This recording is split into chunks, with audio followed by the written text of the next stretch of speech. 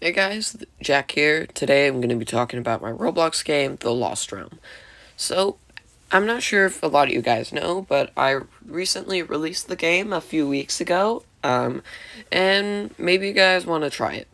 So, anyways, there was a, there's going to be a tiny little update, um, version 1.1, um, that's going to be released on Friday.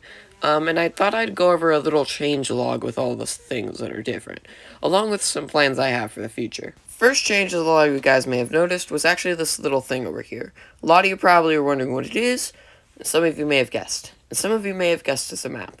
which you're right, there was some confusion over where to go, so I decided to add this map in to prevent confusion. These will be scattered all across the town, um, and basically every building so you guys know where to go. Second change is right outside where, as you can see, there are no more cars. This was to prevent confusion as well, because some of my friends got confused. And it's easier to get in this car now. So it's so it's basically fine. Last change was in the office. I suck at my game, so I'm not going to be able to show it. But basically what this changes is that, um,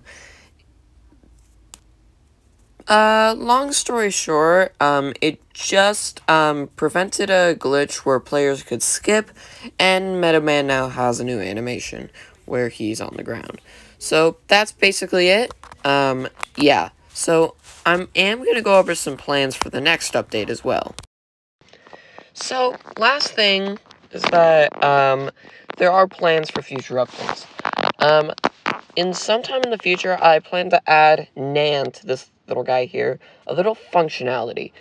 Um, all I'm going to say is that um, there's a TV in here, um, and Roblox recently allows you to upload videos. So I think you can guess where I'm going with this. And keep in mind, it's an old TV, which does not take anything like DVDs or doesn't have streaming services, but it takes... You guys don't know. So, that's basically one of the updates I have planned. There will also be a little um, DLC coming out um, for Halloween. Um, and it's going to be free um, when it releases. But eventually, um, it but when it's not Halloween, it's going to cost 80 Robux, which is a dollar. So nobody can complain to me about, Oh, Jack, this is so much money. What do I do? So yeah, that's basically it. Um, I'm Jack, and I hope to see you all in the Lost Realm Update 1.1. Bye!